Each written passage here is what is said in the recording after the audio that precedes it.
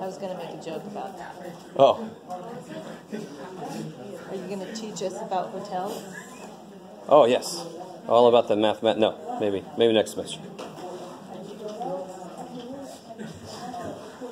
Just teasing, of course. Oh, yeah. I'm with that. Uh, oh, good. I got a whole bunch of scrap paper. All right, guys. I want to show you one nifty thing that's easy to kind of pass by if I'm not careful. This is nothing you necessarily have to be able to do immediately, but I just want to point this out.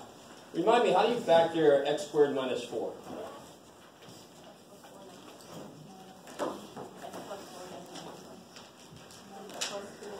Yeah, x plus 2. Where did, where did 2 come from?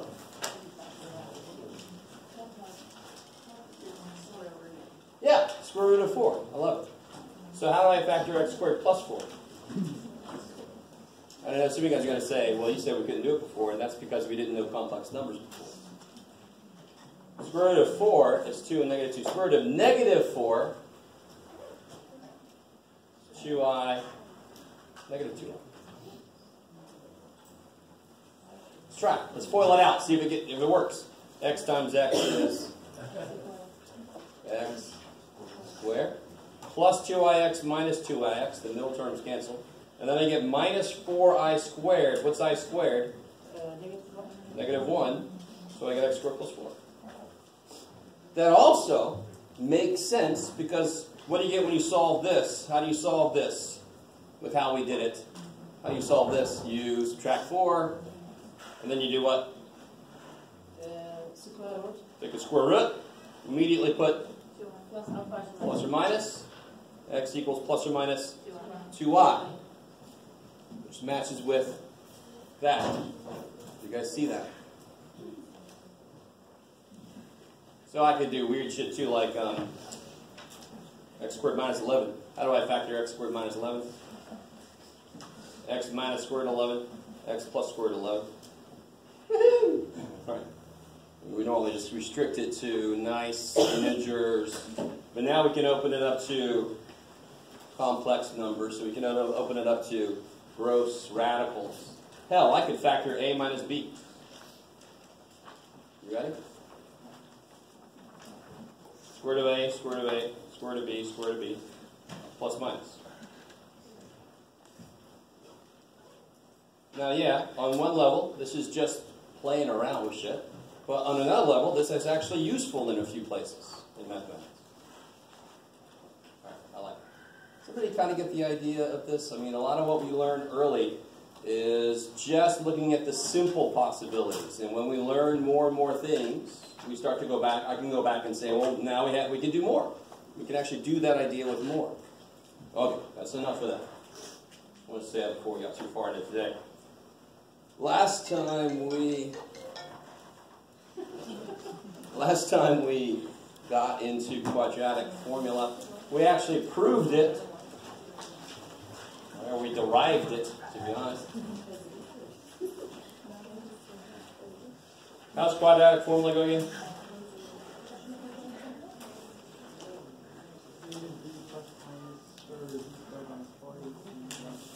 Oh, good.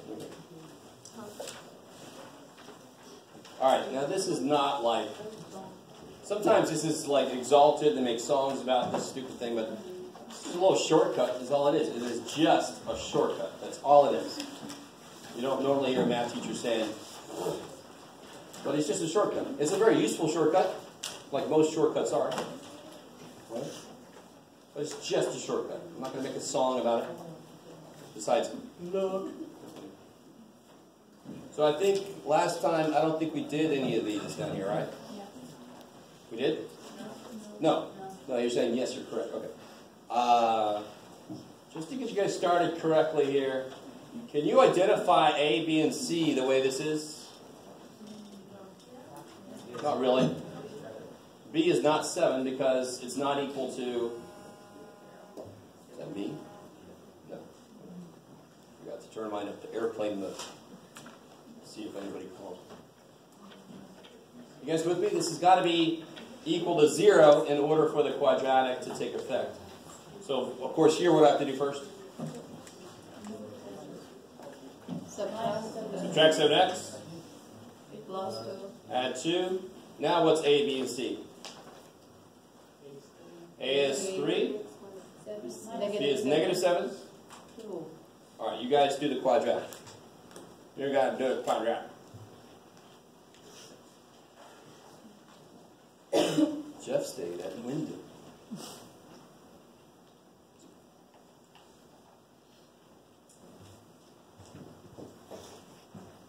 And the school paid for him. Is Yeah. that YouTube advertisement? No, I don't know. I don't care. If they have a bed and working water, uh, that's all I need.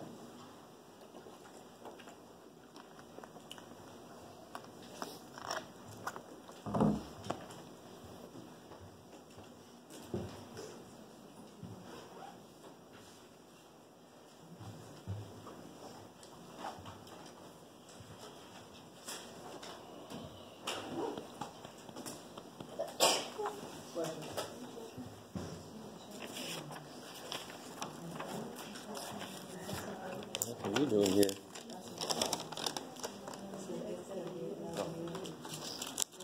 Thing.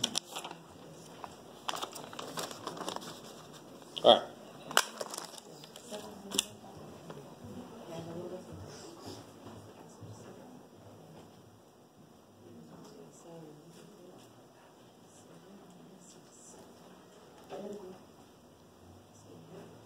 So it's negative b. Negative negative 7 is 7. Give or take. Square root. Negative 7 squared is. Yeah, the biggest mistake I see is people put negative 49 here. That's a neat trick. It's a real number. It can't come out negative when you square it.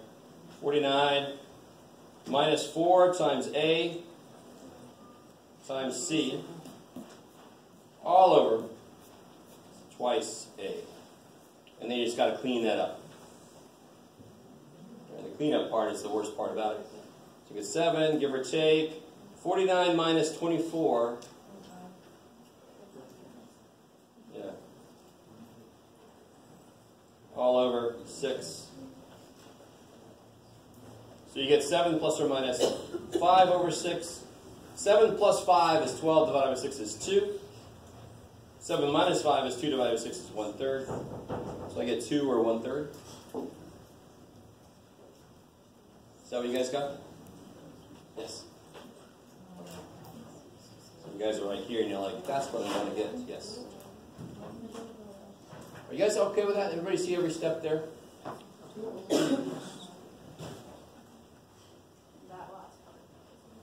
All right, here. This is 7 plus or minus 5. So what's 7 plus 5? Divided by 6, 2. 7 minus 5. Divided by 6, 1 third. Isn't it a negative seven? Huh? Isn't it a negative seven? It is a negative 7, but what does the formula say you do? Negative b. Negative negative 7 is 7. So right here it's negative negative 7, which becomes 7. Or better yet, you just say, that says change the sign of b, plus or minus. You guys, is that cool? You guys see that? Negative something means change the sign of that thing. It's another way to look at it. This came out nice. This came out, do you guys understand? You guys have got to be to the point where one third is nice. What's not nice? Square root of 7 divided by cube root of 5. I mean, that's gross. I mean, it's radicals. So one third is nice. 2 is definitely nice. What does that mean about the original problem? What could I have done? I could have factored it. I like it. Yep, no, no. Sometimes people that hate factoring, when they learn quadratic, they only do quadratic. It makes me cry a little bit. Some tears. But okay. All right, you guys try number two.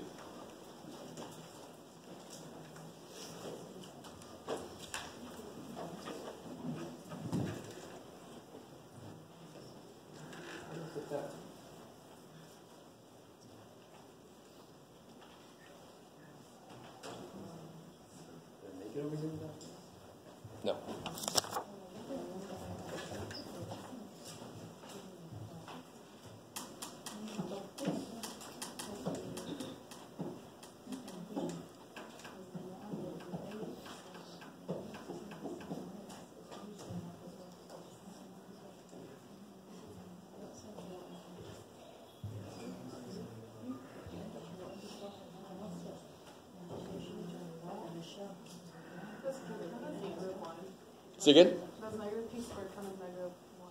Yeah, the, the coefficient of p squared is negative 1.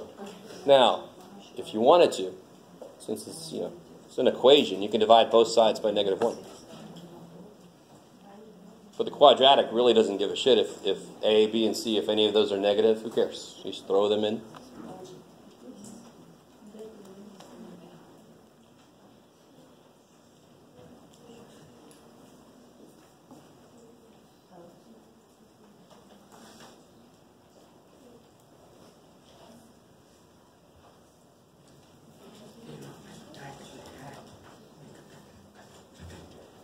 To have a machine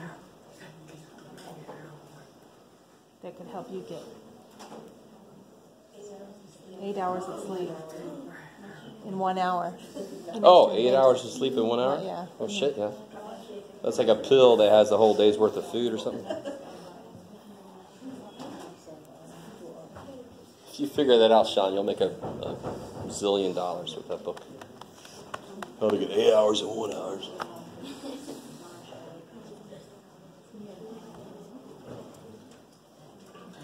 Knowing me, I'd only be able to sleep 10 minutes then. That would be a big. Uh, All right, guys. So somebody gave it away already that A is negative 1. What's B? 6. C? Negative 10. So then you throw that stuff in. Negative B plus or minus B squared minus 4 times A times C divided by 2A.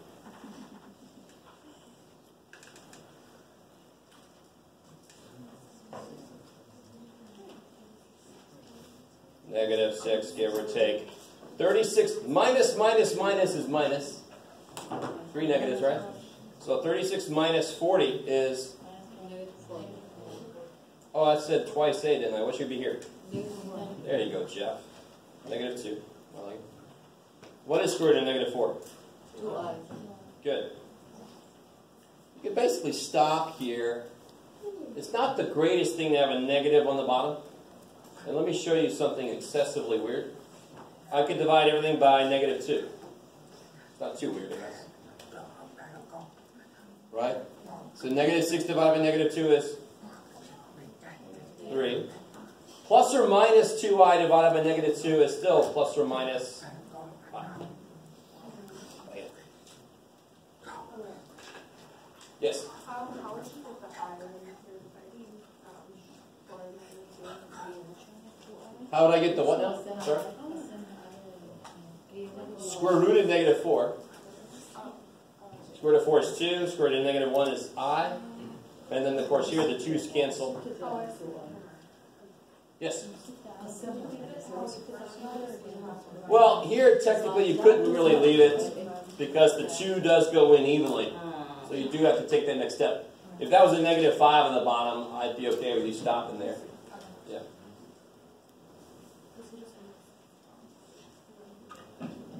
And, and something actually a little more important is what's the general form of a complex number? Oh, shit. What's the general form of a complex number? I like it. It's a number. A plus BI. Oh man, we've all forgotten. A plus BI. Isn't that a complex number? A real part, imaginary part. Which one of these is in that format? Second one. Okay. That seems to be somehow important to someone somewhere. Real quick, before I do any more, uh, what part of this tells me there's going to be two answers? Yeah, I like it. So, what's the only way that I would get one answer from this? Yeah, if the stuff inside here came out to be zero, then I would get one answer. It's repeated. It would be a repeated answer. It'd show it twice. It's got to be two answers, but they just happen to be the same answer. So this uh, this b squared minus 4ac part, that part seems to be important. We talk about it for a minute. So if that part, stay with me now. This is called the discriminant. Discriminant. if it equals zero, I get one real answer. What if it's less than zero? Less than zero. How many? I'll get imaginary answers, right? If this is less than zero, that's the square root of a negative number. Are you guys with me? This is nothing magic. If that's negative, square root of a negative is a complex, is an imaginary number. And of course, I still will have two of them because the plus or minus will still be there. So that I'll get two complex, yeah, complex answers. And of course, if that's positive, if that's greater than zero, I'll get two nice real answers. I don't know if you guys remember, we looked at this a while back. Uh, I can't remember where I put my notes. On the very first page, we looked at. Holy crap. We looked at these three situations two answers, one answer, no answers, right? So that totally relates to two real answers would be this graph, two complex answers would be that graph. There's no real answers. And one real answer would be this one, the one that sits on the x-axis. It's got that one answer. It's beautiful. There's a there's a totally algebraic way, and there's a totally graphical visual way, and they agree with each other.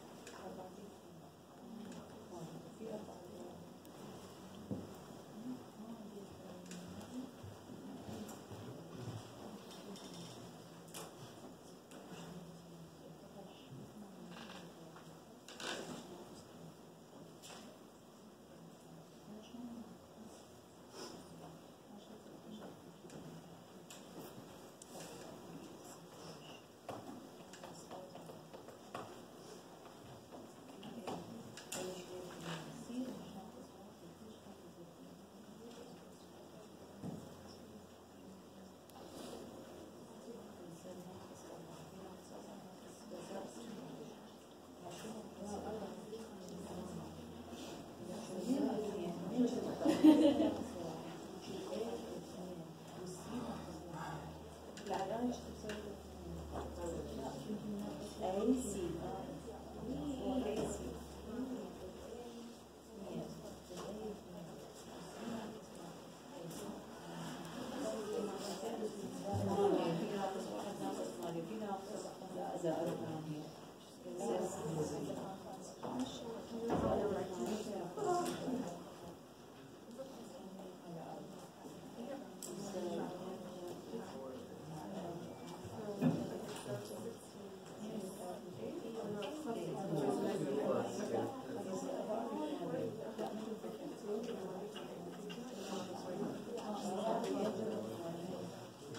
All right, let me catch up to you guys. What goes right here?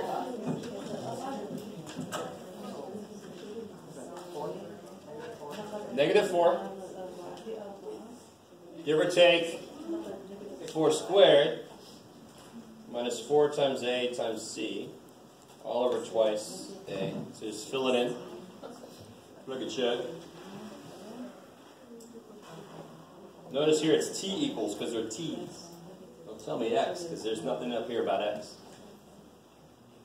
So t equals negative 4. What do, we, what do we get inside here? It's minus a negative, so it's plus. 16 plus 8. Thirty, twenty-one, thirty-two. 16 plus 8, 24.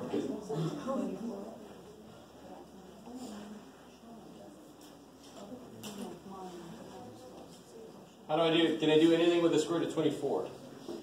Can you do anything with square root of 24? Yeah, 24 is 4 times 6. Square root of 4 is 2. Square root of 6, I don't know. Now, what can I divide everything in here by? 2. So we get negative 2 plus or minus rad 6 all over 2. You can stop there, that's fine. Or you can break it up like we did a minute ago. Here's fine.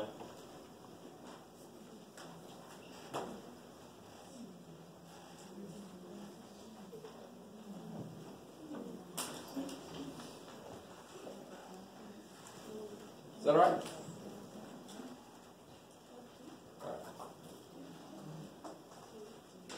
Let me see, what was the next thing? Oh, yeah. So let's do this. Let's look at this here. Uh, let me see, let me get this out.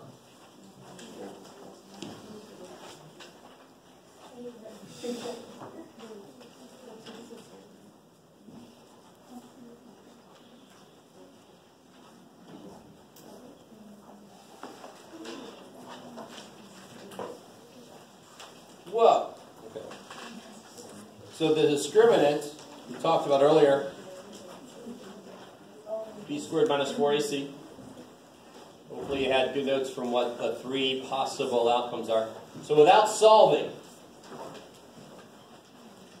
no solve. To use English with no grammar. Tell me how many and what type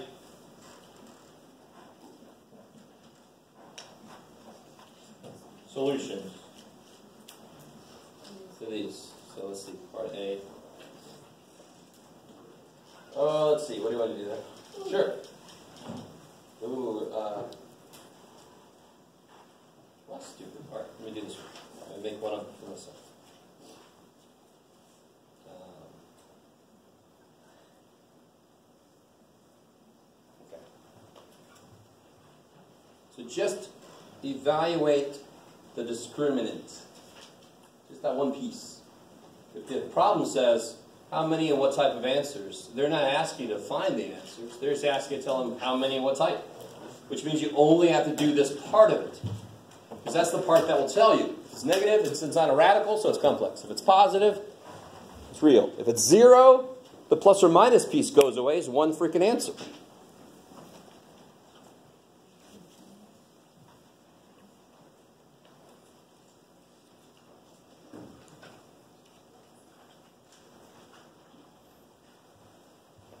So what's A, B, C here? What's A?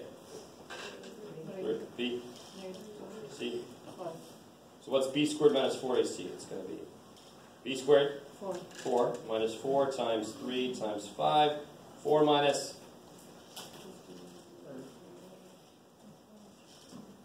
60. So what kind of answers will this have and how many?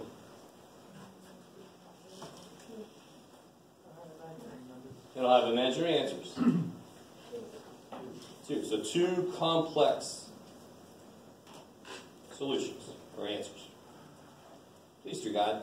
Why does it make sense? Because where is this piece in the formula? It's inside a radical. So if the negative is inside a radical, you're going to end up with imaginary numbers. Why is there two of them?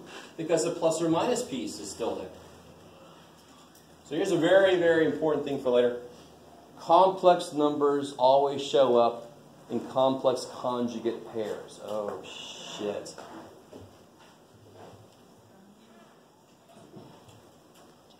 Just like we saw earlier, did we get that one answer 3 plus or minus i? Isn't 3 plus i the conjugate of 3 minus i?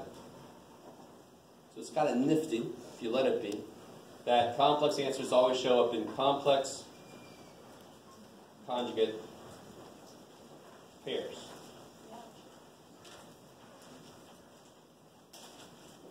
That's an approximation of English. Okay. Complex. Okay. So here, what about this guy? What about this guy here?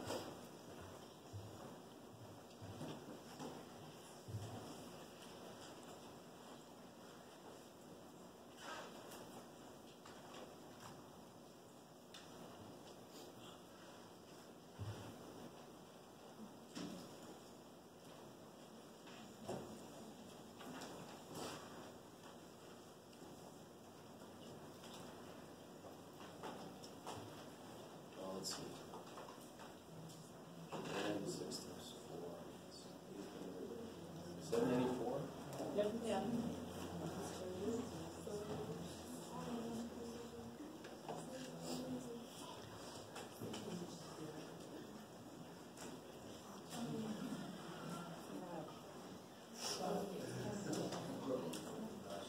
And then 16 times 49, 784.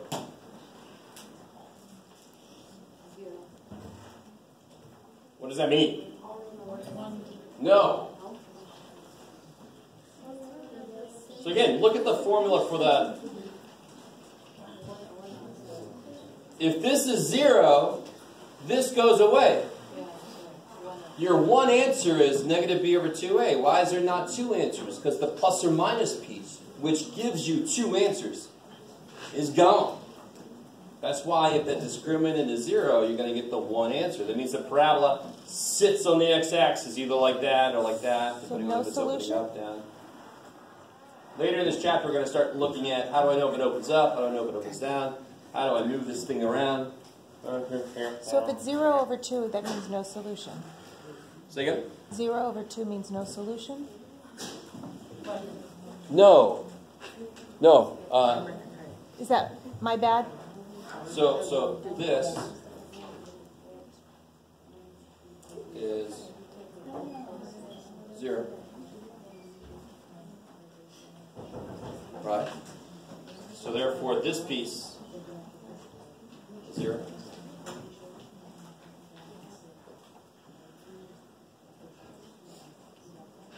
What is the answer then for this one? Got it, thanks. Negative b over twice a. Yeah, negative b over twice a. So 28 divided by 8. Yeah, okay. So 7 halves. Yeah, I got you. Max is like dozen, 12, yeah.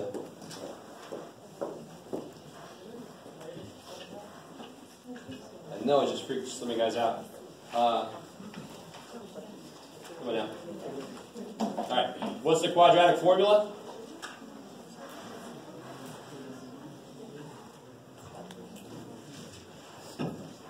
What does this thing do? What does this thing do? What does it do? It finds what? X's that do what? I can find X's. 7. I found an X. X equals 7. Is it? X's that do what? I love you guys. You're all like, I don't know. Jeff, you learned this shit. We go back to the beginning. What did we start with? We started with this equation. What does a quadratic formula do? It solves this equation. Right? You guys with me? And if you think about it, if I have y equals ax squared plus bx plus c, and I make y 0, if I make y 0, what am I finding graphically? What about it? If I make y 0 and solve for x, yes, I'm, sol- I'm getting x. But what, what, what is it? Why are they special? If I make y 0, where am I? Where am I if I make y 0? On the x-axis. So I'm finding x-intercepts. So there's two kind of answers, two ways to look at it. The quadratic formula solves this equation, which finds the x-intercepts of a parabola. So that's why there could be two of them, one of them, or none of them. If it doesn't hit the x-axis, there's not going to be any. Please, all this stuff kind of comes back on itself. All right, where are we going, Jeff? So if this piece is zero, no, no. What, pe- what part of this tells me there's going to be two answers? Plus or minus. And that's in front of this piece. So if this piece is zero, how many answers will there be? One. And I happen to know it's going to be this, but all that matters is there's just one answer. If it's negative, there'll be two and complex. If it's positive, there'll be two real. Right? So part of your brain goes, well, it's math. I'm never going to understand it. But you got to go and just look at it and see why, why does this make sense? Why would looking at this piece tell me anything? It's because of where it is. It's inside that radical with a plus or minus in front. It's going to tell me a lot. Shit. That's why we gave it a name. Math people don't like writing discriminant. If we do that, it must mean something important. Okay. Oh.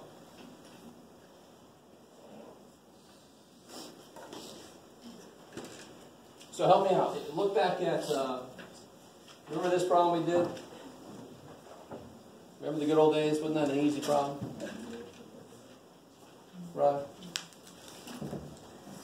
And I said, I said, that means that it could have factored this, right? So let's take a look at this for a second. I want to build up to the next thing, and that'll be the last thing we do today.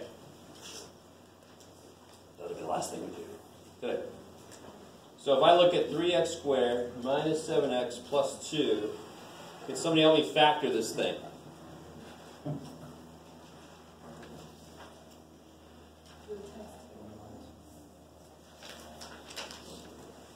3 times 2. Took me a second for my brain to figure out what you said. Factors of 6 that add to be negative 7. So it'll be 6 and 1, they both have to be Negative six. negative.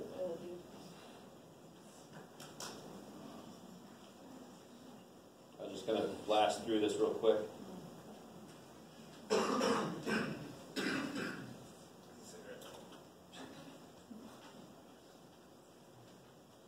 Alright.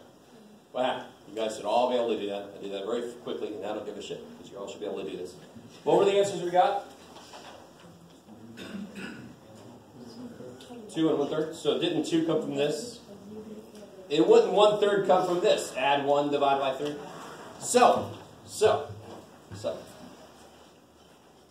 If I knew the solutions to a quadratic were x equals 5 and x equals negative 1,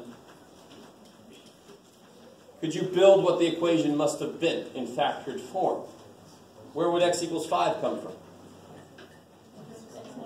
There must have been an x minus 5. Where would x equal negative 1 come from? There must have been an x plus 1. So what would it look like fully out? It would look like that. So there are going to be problems that say a quadratic has these solutions. What was the equation? And you're like, uh, excuse me? But uh, this is all they mean. Can you just go backwards? What if I had uh, x equals, uh, uh, you can do it, Jeff, negative 3 and x equals 5 fourths? Oh, shit. X plus three, Yeah, so this would come from x plus 3. That's easy. negative, X 4x minus 5. 5 fourths. Add 5 divided by 4. And then you FOIL this out to make it like a, a, a, a polynomial equation. I like it. So there will be some problems that say, here are the answers. What was the, what was the equation? And you're not used to that kind of question. You're like, what? I have the answers? what was the question? Right? It's like 42. No, 42. You check it out. Oh, okay, Just you guys there. What is six times nine? That's the that's the question. Look up Douglas Adams. All right. That's plenty. If you're in the next lab, walk very slowly. See you guys there.